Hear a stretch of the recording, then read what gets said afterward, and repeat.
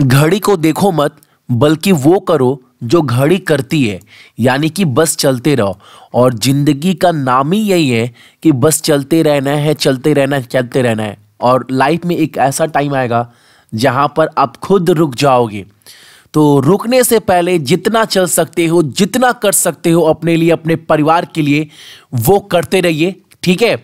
So class को start करूँगा और बोलूँगा, चैनल के ऊपर जो भी नए हैं, चैनल को सब्सक्राइब करने के बाद नोटिफिकेशन के बिल को दबा देना ताकि हर एक क्लास का अपडेट मिलता रहे. और इस क्लास का पूरा का पूरा पीडीएफ आपको सक्सेस की 98 डॉट इन पर मिल जाएगा। और एक बात आप किसी भी एग्ज़ाम का ऑनलाइन टेस्ट जो है, वो सक्सेस की 98 डॉट नेट पर जाकर दे सकते हैं। या फिर हमारे एप्लीकेशन सक्सेस की 98 को डाउनलोड करने के बाद वहाँ पर भी आप सभी दे सकते हैं, ठीक है? किसी भी एग्ज़ाम का एसएससी रेलवे या फिर बैंक का। और आज कवर करने में उसके पहले आप एक बार क्लास के टाइमिंग को देख लो ताकि आपका क्लास जो है, वो बिल्कुल भी मिस ना हो। और आज कवर करने वाले हैं हम सभी तेईस और चौबीस जनवरी के इंपॉर्टेंट करेंट अफेयर कुछ इंपॉर्टेंट पॉइंट के साथ। तो देखते हैं आज का पहला प्रश्न हमारे सामने क्या निकल कर आ रहा है। और पहला प्रश्न है, ईंधन संरक्षण पर मेगा अभियान स्टार्ट किया गया है। उसका उद्घाटन जो है वो नई दिल्ली में किया जाएगा। आपको बताना है, उस अभियान का नाम क्या है? तो ईंधन संरक्षण पर जो मेगा अभियान स्टार्ट किया जाएगा नई दिल्ली में, उसका नाम है आपका सक्षम। ऑप्शन नंबर आपका डी। ठीक है? अगला प्रश्न हमारे सामने है, किसने अमेजन के खिलाफ और फ्लिपकार्ट के खिलाफ गहन छूट प्रथाओं की जाँच का आदेश दिया है? आपने देखा होगा, बहुत सारा डिस्काउंट दिया जाता है। अब यहाँ पर क्या होता है? आपने देखा होगा बहुत धोखाधड़ी भी होता है डिस्काउंट के मामले में भी। अगर आप बहुत डीपली फॉलो करते हैं तो आप कभी कभी देखते पा, पा रहे होंगे। कभी कभी क्या होता है सामान का दाम अचानक जो है वो चार रुपया पाँच रुपया हो जाता है। जिस सामान का कीमत चार हज़ार पाँच हज़ार होता है। बग हो जाता है कभी कभी तो वो पूरा का पूरा जो जाँच पड़ताल है वो किया जाएगा। और ये ऑर्डर दिया गया है सीसीआई के द्वारा, ऑप्शन नंबर डी, यानी कंपटीशन कमीशन ऑफ़ इंडिया के द्वारा। और इसके जो चेयरमैन है, उनका नाम है अशोक कुमार गुप्ता। ठीक है? अगला प्रश्न हमारे सामने है कि परशुराम कुंड मेला, ये किस राज्य में आयोजित किया जाता है? और ये आयोजित किया जाता है आपका कहाँ पर? तो अरुणाचल प्रदेश में ऑप्शन नंबर आपका सी। और अरुणाचल प्रदेश के सीएम कौन है? तो Pema Khandu, governor B D Mishra और कैपिटल तो वो है आपका ईटानगर। ठीक है, अगला प्रश्न हमारे सामने है, किस राज्य की सरकार ने प्रशिक्षित उम्मीदवारों को नौकरी से जोड़ने के लिए एक एप्लीकेशन यानी एक ऐप लॉन्च किया है? उस एप्लीकेशन का नाम क्या है? तो रोज़गार संगी और ये एप्लीकेशन ये एप्लीकेशन जो है, वो लॉन्च किया गया है आपका छत्तीसगढ़ के द्वारा, यानी ऑप्शन नंबर ए ठीक है? और छत्तीसगढ़ के सीएम कौन है? अंसुया उके। वहाँ के मुख्यमंत्री है भूपेश बघेल और कैपिटल है आपका रायपुर। अगला प्रश्न हमारे सामने है। रूस के प्रधानमंत्री, जिनका नाम क्या था, वो आपको बताना है। जिन्होंने अपना इस्तीफा जो है, वहाँ के राष्ट्रपति जिनका नाम है व्लादिमिर पुतिन उनको सौंप दिया है। तो आपको मैं बता दूँ, रूस के प्रधानमंत्री जिनका नाम है आपका डिप्टी मैदवेद, इन्होंने अपना इस्तीफा जो है वहाँ के राष्ट्रपति व्लादिमिर पुतिन साहब को सौंप सौंप दिया है। ठीक है, याद रखिएगा।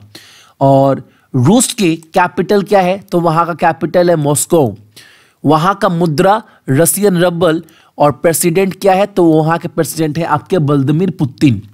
अगला प्रश्न हमारे सामने है 2019 के लिए किस ज़िले को स्वच्छता दर्पण पुरस्कार मिला है? और ये अवार्ड दिया गया है आपका ऑप्शन नंबर बी पुरी को। और एक बात, पूरी कहाँ पर पड़ता है? तो ये पड़ता है आपका उड़ीसा में। और उड़ीसा के सीएम कौन है? नवीन पटनायक। वहाँ के राज्यपाल कौन है? तो वो है गणेशी लाल। और कैपिटल तो वो है आपका भुवनेश्वर। ठीक है ना? अगला प्रश्न हमारे सामने है, लघु कथाओं के संग्रह के लिए।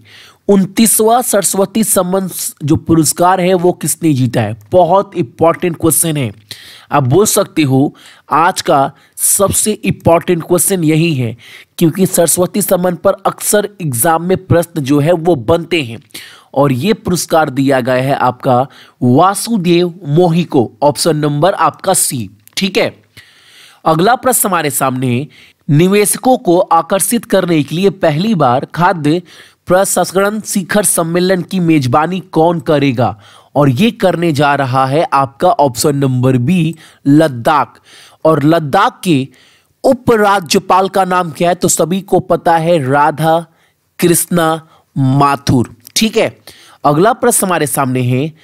आप सभी को पता है अभी अंडर 19 वर्ल्ड कप चल रहा है। क्रिकेट की गेम की बात कर रहा हूँ।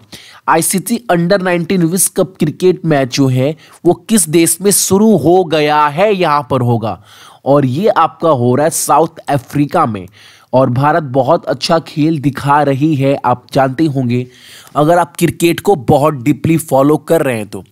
और साउथ अफ्रीका का कैपिटल क्या है तो वो है आपका कैपटाउन वहाँ पर मुद्रा क्या इस्तेमाल करते हैं तो वहाँ पर मुद्रा इस्तेमाल किया जाता है साउथ अफ्रीकन रैंड। और वहाँ के राष्ट्रपति कौन है? तो साइड साइडल रामाफोसा। ठीक है? अगला प्रश्न हमारे सामने है। ये क्वेश्चन भी काफ़ी इंपॉर्टेंट है कि केंद्र दत्तक ग्रहण संसाधन प्राधिकरण का पांचवा वार्षिक दिवस किस शहर में मनाया गया है? और ये मनाया गया है आपका नई दिल्ली में। और नई दिल्ली के उपराज्यपाल का भी नाम आप सभी को पता है, अनिल बैजाल। ठीक है?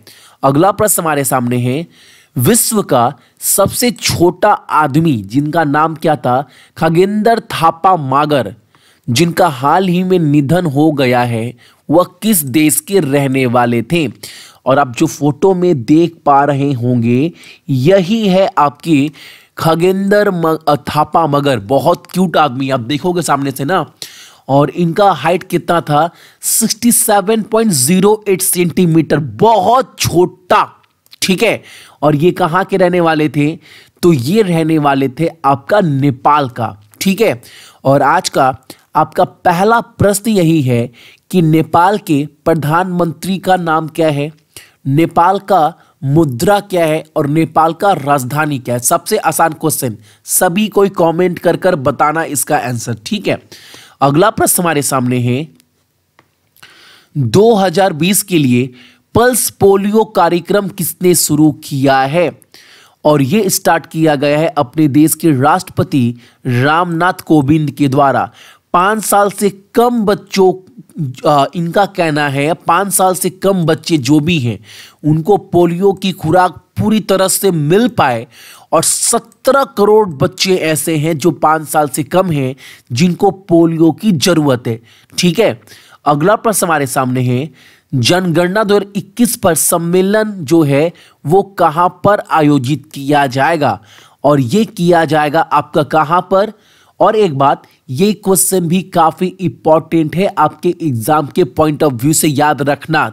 नई दिल्ली में ऑप्शन नंबर आपका बी, ठीक है?